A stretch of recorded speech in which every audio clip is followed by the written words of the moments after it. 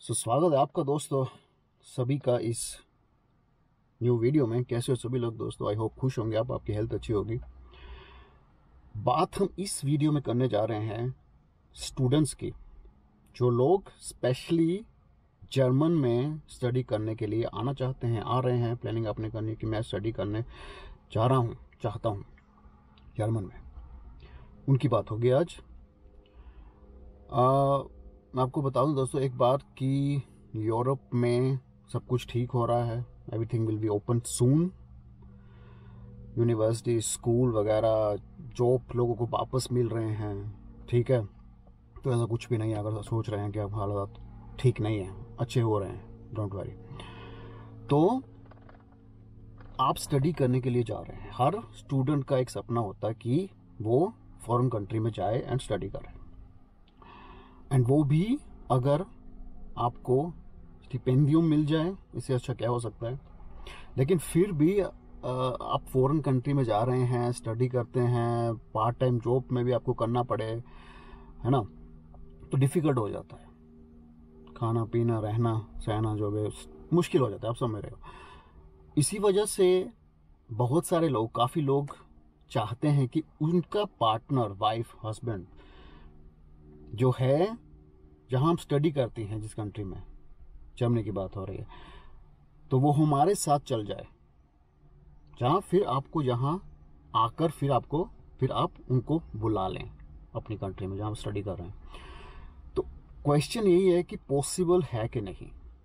सीधी सी बात है पॉसिबल है। आप स्टडी कर रहे हैं एज अ स्टूडेंट अपने लाइफ पार्टनर को, अपनी वाइफ हस्बैंड बुला सकते हैं।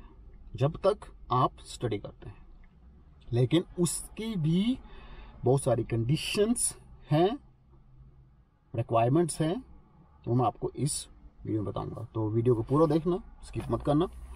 सो so, अब थर्ड कंट्री से यहाँ आ रहे हैं जर्मनी में। तो आपको क्या चाहिए? एक वीजूम चाहिए। फैमिली का एक वीजूम होता है ना अगर आप फैमिली को बुलाते हैं उसका वीजूम होता है वो आपको चाहिए। ठीक है? अपने जो चाइल्ड होता है अगर आपका बच्चा है उसको भी बुला सकते हैं आप। बाय द वे पेरेंट्स आपको बुल, आप बुलाना चाहते हैं उनको भी बुला सकते हैं। हस्बैंड वाइफ जो बात हमारी चल रही है ना उसके उनके बारे में। तो रिक्वायरमेंट्स क्या है? कंडीशंस क्या है? मेन जो होता है रिक्वायरमेंट्स होती है मेन सबसे पहले बात आती है फाइनेंशियल रिसोर्स जो होते हैं आपके पास होना चाहिए। ठीक है? फाइनेंशियल रिसोर्सेस जो है कवर होना चाहिए सब रहन सहन express of leave expenses of living अपने लिए भी और आपके फैमिली पेरेंट्स ठीक है वाइफ के लिए पार्टनर अपने पार्टनर के लिए हस्बैंड हो या वाइफ हो। ठीक है मींस आपको जो जर्मन गवर्नमेंट ये चाहती है कि पब्लिक फंड जो होता है जर्मनी के लोगों के लिए, वो आप यूज़ ना करें। डिपेंड उस पर ना हो। यह जर्मन गवर्नमेंट चाहती है। ठीक है, ये इंपॉर्टेंट है। फाइनेंशियल रिसोर्स आपके पास होने चाहिए।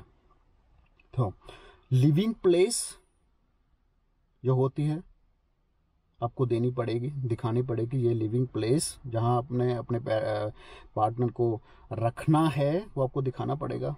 प्रूफ है ना?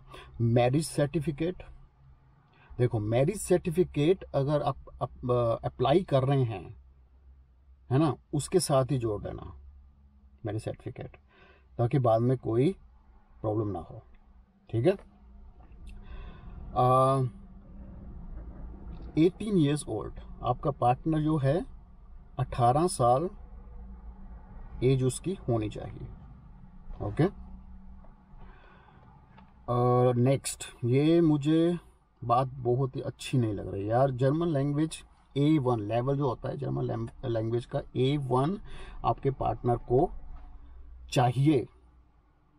मींस उसको जर्मन कोर्स जो होता है, अगर आपका पार्टनर इंडिया में है, उसको कोर्स करना पड़ेगा। एंड सर्टिफिकेट उसका मिलता है वो, जब वो वीज़ा अप्लाई करेगा, करेगी, साथ में आप उनको दिखाना पड़ेगा कि ये बंदे ने कोर्स जो होता है जर्मन का, हासिल किया है। उसके बाद सर्टिफिकेट है। प्रूफ करना पड़ेगा आपको। सो नेक्स्ट डॉक्यूमेंट्स जो होते हैं, आपको चाहिए वीज़ा अप्लाई करना पड़ेगा आपको ऑब्वियसली अपॉइंटमेंट लीजिए। इंटरव्यू आपकी होगी। आपको इंटरव्यू देनी पड़ेगी। क्यों आप जा रहे हैं? किसके पास जा रहे हैं? रहना कहाँ है आपने? स्टडी आपका हस्बैंड वाइफ कहाँ कर रहे हैं? कर रही है।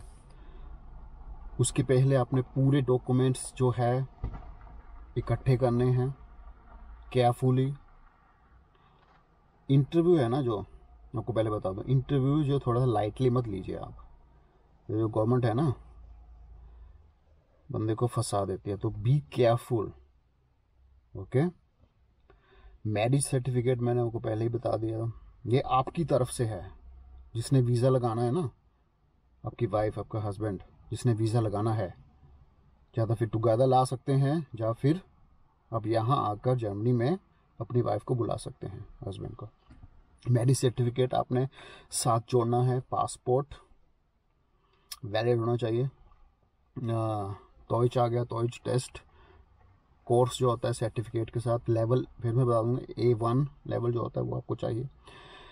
बर्थ सर्टिफिकेट फ़ोटो चाहिए आपको दो या तीन या चार। आपको एक लिस्ट मिलेगी वो सभी डॉक्यूमेंट जो होते हैं ना लिखे होंगे। जर्मन रेजिडेंट प्रूफ जहाँ पर आप जा रहे हैं उसका होता है आ, उसको कहते हैं मिल्ड सेटल ओके फिर आपको चाहिए एक कवर लेटर रेंट कॉन्ट्रैक्ट जो होता है कॉपी उसकी चाहिए जहाँ आपका हस्बैंड रह रहा है। Okay wife health insurance health insurance आपको चाहिए जब आप ट्रैवल करते हैं, वो अलग होती है। ट्रैवल इंश्योरेंस हेल्थ इंश्योरेंस वो आपको देनी पड़ेगी। ओके ये सभी डॉक्यूमेंट्स मैं बता रहे हैं आपने, ये आपके हस्बैंड को भी देने पड़ेंगे सभी। कॉपी होती है ना, उसको साथ में जोड़ देना। ठीक है? सो अप्लीकेशन फ़ी कितनी होती है? एस्टिमेट लगा लो सेवेंटी फाइव यूरो हो सकता है आई थिंक पहले तो सेवेंटी फाइव थे तो ऐसी बात ऐसे एक काम करना हंड्रेड ज़ीरो साथ ले जाओ। That will be enough I think फिर आपने क्या करना है? पूरे जो सभी जो डॉक्यूमेंट्स है, आपने इकट्ठे किए हैं, एक कॉपी कर लो। पूरे डॉक्यूमेंट की। ठीक है? हाँ तो ये मैंने बता दिया documents from your spouse from Germany जहाँ वो रहता है इनवाइट लेटर uh, जो होता है यूनिवर्सिटी से वो आपको चाहिए। डॉक्यूमेंट्स से याद आया मे बी हो सकता है आपको सम डॉक्यूमेंट्स ट्रांसलेट करना पड़े एंड वेरीफाई करना पड़े। इन जर्मन लैंग्वेज ठीक है? सम डॉक्यूमेंट्स ये तो फिर एक्स्ट्रा कॉस्ट आपको देने पड़ेंगी ट्रांसलेट करने के लिए. ओके नेक्स्ट लास्ट है ये पॉइंट टाइम कितना लगेगा विजन विजन के लिए? डिपेंड ऑन कैंडिडेट्स कितने हैं एंड डिपेंड्स ऑन एम्बेसी ठीक है? कंडीशन जो आजकल चल रही है, उसके हिसाब से एक या तीन मंथ हो सकता है कि लग जाए। ठीक है? दैट्स इट दोस्तों I hope you like this video आपने क्या करना है अभी? वीडियो को लाइक करना है एंड अगर अच्छा लगा तो चैनल को सब्सक्राइब करना। ओके बी सही मिलता हूँ फिर नेक्स्ट वीडियो में। बाय